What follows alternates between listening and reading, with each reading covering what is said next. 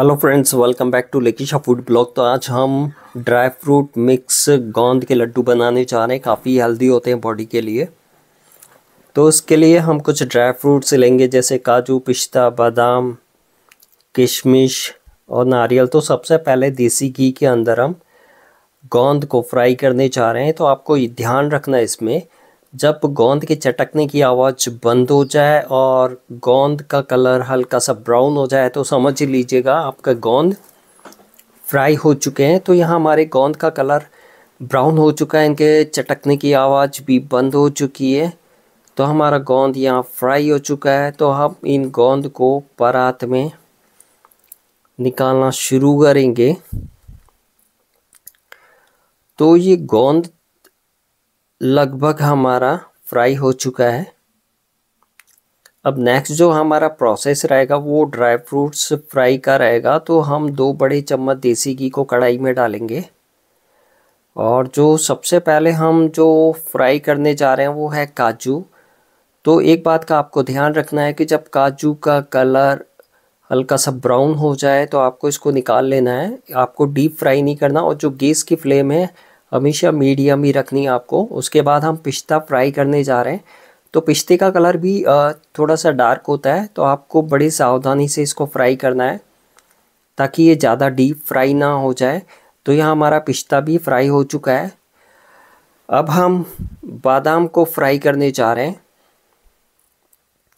बादाम भी दिमाग के लिए काफ़ी अच्छा ऑप्शन है, और बादाम से दिमाग काफ़ी शार्प होता है। तो बच्चों के लिए बहुत ही अच्छा ये टॉनिक है।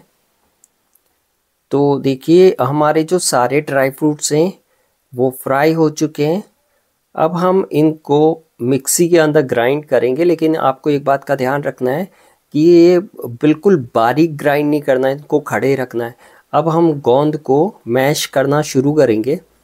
और आपको ध्यान रखना इतना ज़्यादा मैश नहीं हो कि वो बिल्कुल चूरा सा हो जाए, बिल्कुल बारीक हो जाए, आपको थोड़ा सा इसको खड़ा भी रखना है। तो इस तरह से सबसे पहले हम ये गोंद को मैश कर रहे हैं यहाँ।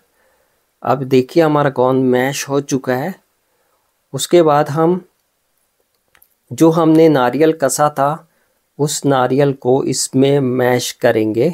तो नारियल भी एक अच्छा टॉनिक है दिमाग के लिए। अब हम जितने भी ड्राई फ्रूट्स हमने जो ग्राइंड किए थे मिक्सी के अंदर, वो हम इसमें डालना शुरू करेंगे। हमने काजू, पिस्ता, बादाम, ये सब हमने ग्राइंड किए थे तो इनको हमने इसमें डालना शुरू कर दिया है। अब ये सब हम डाल चुके हैं। अब देखिए हम जो किशमिश हैं, वो मिक्स कर रहे हैं। तो किशमिश से क्या थोड़ी सी मिठास भी आ जाती है? तो हमने काली मिर्च का चूरा बनाया था, बिल्कुल बारीक। तो वो काली मिर्च हम इसमें मिक्स कर रहे हैं।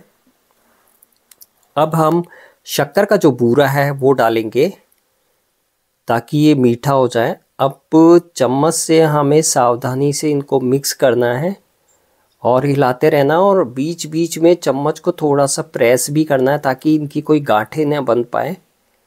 तो अच्छी तरह से मिक्स करना है ताकि जितने भी आपके इंग्रेडिएंट्स हैं, वो सारे के सारे आपस में अच्छी तरह से मिक्स हो जाए। तो चम्मच से आप मिक्स कीजिए और बीच बीच में चम्मच को प्रेस भी करते रहिएगा ताकि गांठे ना पड़े। अब हम हाथों से इन लड्डू को बनाना शुरू कर रहे हैं। तो इस तरह से आपके गोंद के लड्डू तैयार हो रहे हैं। और वीडियो कैसा लगा, ये आपको रेसिपी कैसी लगी, आप प्लीज़ कमेंट बॉक्स में लिख के ज़रूर बताइएगा। और वीडियो अच्छा लगे तो प्लीज़ ज़्यादा से ज़्यादा शेयर लाइक कीजिए और चैनल को सब्सक्राइब कीजिए। तो नेक्स्ट वीडियो में हम एक बहुत ही यूनिक रेसिपी लेके आएँगे। तो आप अपनी राय कमेंट बॉक्स में लिख के ज़रूर बताइएगा। तो लीजिए आपके गोंद के लड्डू तैयार हैं। और सर्दियों में ये काफ़ी हेल्दी रहते हैं, पूरी फैमिली के लिए और काफ़ी टेस्टी भी होते हैं। इनका टेस्ट भी काफ़ी यूनिक है। तो मिलते हैं नेक्स्ट वीडियो में। तब तक के लिए गुड बाय थैंक यू